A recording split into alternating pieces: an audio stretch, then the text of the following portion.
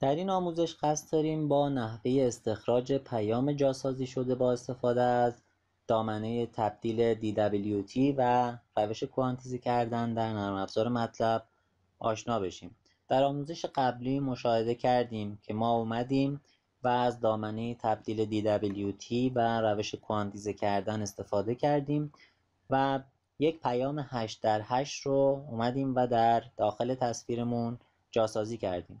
حالا مکانیزم جاسازی کردنمون هم به این صورت بود که اومدیم تصویرمون رو که یک تصویر 512 در 512 پیکسل بود به بلاک های 64 در 64 تقسیم بندی کردیم و هر بلاک 64 در 64 رو گرفتیم و تبدیل DWT رو بر روی اون محاسبه کردیم و اومدیم ضریب شماره دو دو از هر یک از اون ضرایب زیرباند تقریب یا LL مربوط به تبدیل DWT رو انتخاب کردیم به عنوان مکان جاسازی و متناسب با اینکه بیت پیاممون یک هست یا صفر یکی از روش های جاسازی رو یا به عبارتی پارامتر قدرت رو متناسب با اون بهش اختصاص دادیم و تغییرات رو ایجاد کردیم. حالا در ادامهش می‌خوایم جاسازی رو برای این کار انجام بدیم. مجدد میایم و پارامتر قدرت رو تنظیم می‌کنیم. دقت باید داشته باشیم که پارامتر قدرتی که ما استفاده می‌کنیم بین مبدا و مقصد یا به عبارتی در زمان embedding و extraction باید یکسان باشه که ما بتونیم اطلاعاتمون رو استخراج کنیم. وگرنه پارامتر قدرت اشتباه باشه پیاممون هم نمی‌تونیم به درستی استخراج کنیم. میایم تصویرمون رو به بلاک های 64 در 64 تقسیم بندی می‌کنیم. تبدیل موجک DWT رو بر روی هر یک از بلاک ها اعمال می‌کنیم. زیرباند LL مربوط به تبدیل DWT مربوط به اون بلاک رو انتخاب می‌کنیم و به این صورت یک سری محاسبات بر روی اون انجام میدیم. محاسبات به چه صورت هست؟ میایم ضریب شماره دو دو زیرباند LL رو بر S تقسیم می‌کنیم که اون پارامتر قدرت هست. فلورش رو محاسبه می‌کنیم یعنی کفش رو محاسبه می‌کنیم و میایم مجدد در S پارامتر قدرت ضرب می‌کنیم. با این کار عملا ما اومدیم و یک عددی به دست میاریم. اگر از LL دو دو دو کسرش کنیم یک عددی به دست میاد که می‌تونیم بر اساس اون تصمیم گیری کنیم که آیا بیت صفر در اون بلاک جاسازی شده یا بیت یک. مثال می‌زنیم. فرض می‌کنیم که عدد عدد ضریب شماره دو دو زیر باند LL عدد 123 باشه. و ما قصد داشته باشیم که عدد بیت پیام یک رو در تصویرمون جاسازی کنیم. اگر 123 باشه میاد 123 رو تقسیم بر عدد فرض می‌کنیم پارامتر قدرتمون 10 باشه. 123 رو بر 10 تقسیم می‌کنه. و فلورش رو می‌گیره میشه 12 و ضرب در 10 می‌کنه مجدد میشه 120 بنابراین این پارامتر میاد این تیکه میاد و عدد 123 رو به 120 تبدیل می‌کنه.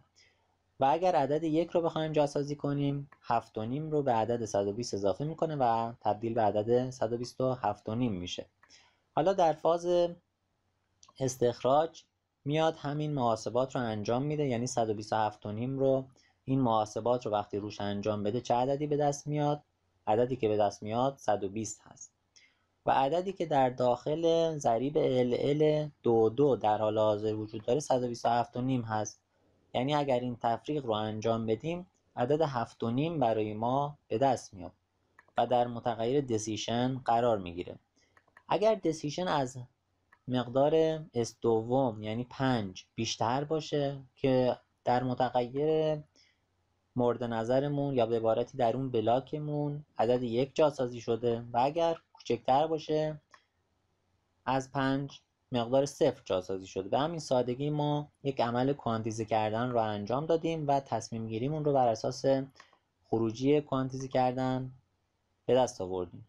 یه نکته ای که وجود داره اینه که اگر ما بر حسب اتفاق و بر حسب تغییراتی در داخل تصویر مثلا فشرده سازی هایی پارامتر ضریبمون مقداری تغییر کرد. مثلا عدد 127 و نیم که نماینده عدد یک بود بیاد تبدیل بشه به عدد 129 یعنی به هر حال یک و نیم مقدار یا واحد مقدارش تغییر پیدا کنه. 129 اگر وجود تبدیل بشه میاد با این پارامتر چه عددی به دست میاد؟ مقدار 120 به دست میاد. و خودش هم که 129 هست 129 منهای 120 میشه میشه عدد 9 پس دسیشن ما عدد 9 میشه. و چون 9 عددی بزرگتر از 5 هست میاد و تبدیلش می‌کنه. در نظر می‌گیره بیت پیام رو.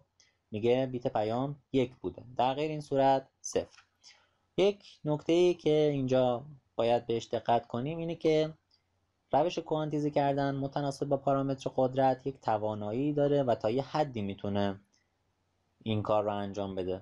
پارامتر قدرت رو مثلا اگر ما الان عددمون از 127 و نیم تبدیل به عدد مثلا 130 یا 131 یا بزرگتر بشه و یا تبدیل به عددی کوچکتر از 125 بشه دیگه نمی‌تونیم اون بیت پیام رو با قطعیت به دست بیاریم. بنابراین یک محدوده ای وجود داره که تضمین می‌کنه در اون محدوده اگر تغییرات ایجاد بشه تغییرات قابل بازیابی هست و می‌تونیم اونها رو برگردونیم به حالت اولیه‌مون.